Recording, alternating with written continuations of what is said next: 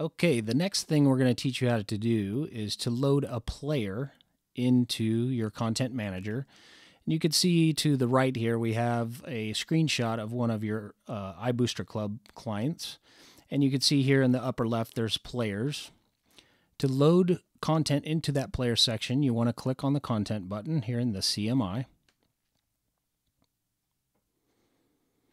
And on the right hand side of the page, you can click Add and you will come to this page. The first thing that you want to do is make sure your content that you're going to load is going to be active on the app. So I just do that immediately. The next thing is your thumb image. You'll see here that thumb images need to be uh, 200 by 200 square images and all in PNG file formats. Click Choose File And I have a player selected from my Finder that I am going to choose. And that is now uploaded. Also, in the menu, the menu corresponds to the nine buttons here on the right on your homepage. Uh, you will see from the pull down men- menu that we have broadcast, coaches, media, more, players, schedules, scores, and social.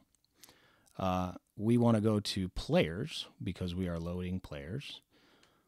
And in the group, you want to uh, put in the level at with, which the player is playing. Uh, let's go in this case, we'll call it varsity.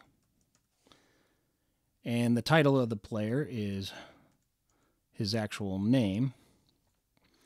And in the description, this is where you can put uh, that he is a senior class of 2014, his jersey number, his height, his weight, and maybe a bio if you choose to put all this information in.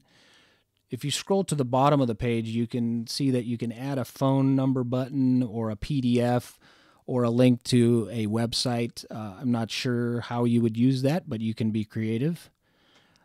At the end of this process, you go to the top and click Save. And the content is appropriately saved into your app, and you can see it on your app immediately.